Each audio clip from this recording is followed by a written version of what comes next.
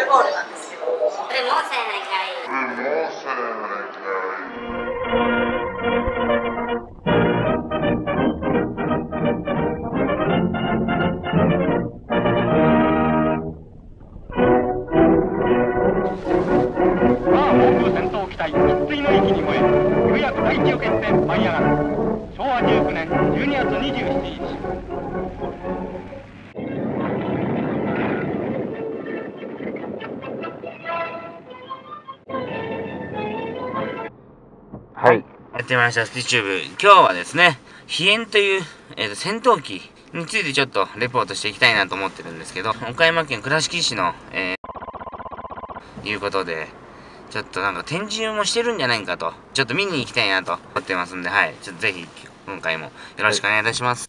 は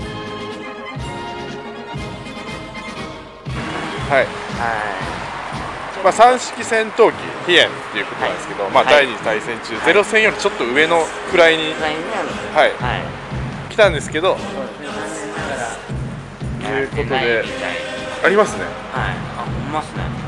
飛燕の公開について、一部報道などでご存知かと思いますが、現在ドルメコネクションでは、飛燕の融資を取り戻すべく作業を行っております。番号が行っておりません。はい残念ながらね残念ながら、でも、きる状態になるまでなるので、今しばらく時間かかりますがと。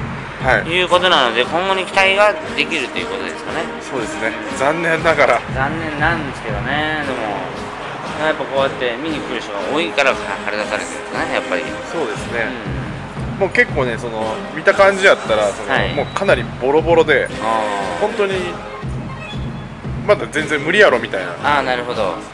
これからだから原型をとそうですね。残念ながすごいですね。岡山県倉敷市にもこういう方がおられるということでね、らはい。またねちょっとやっていきたいと思います、はい。こちらはこちらで。はい、じゃあありがとうございます、はい。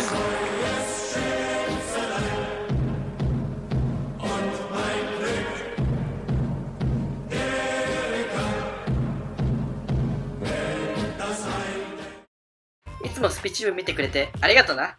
これからもよろしく